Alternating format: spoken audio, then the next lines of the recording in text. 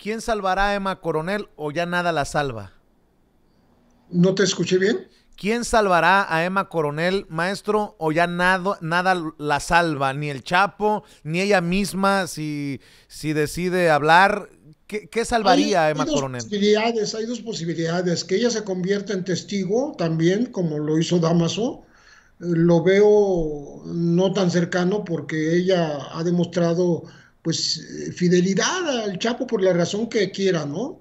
Y la otra es que Estados Unidos anunció que le iba a quitar al Chapo sus ganancias de, que calculaba en 14 mil millones de dólares. Es muchísimo dinero y en ningún lado ha aparecido.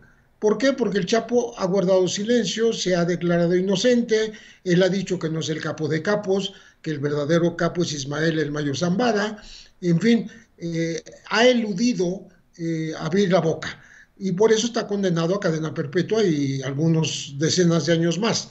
Entonces, es posible que Emma haya sido capturada para presionar al Chapo, porque a Estados Unidos le, interesa el, dinero, no solo terminar con el tráfico, sino más bien recuperar el dinero, las ganancias de este trasiego de sustancias ilícitas.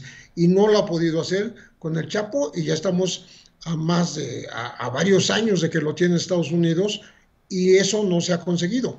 Quién sabe si lo quieren hacer a través de la prisión mm, de, con Emma Coronel detenida, también en prisión.